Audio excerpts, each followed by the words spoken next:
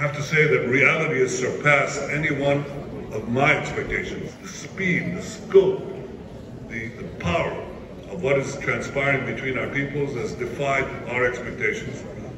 And what I want to say here tonight is let us not be content with the miracle we've already achieved.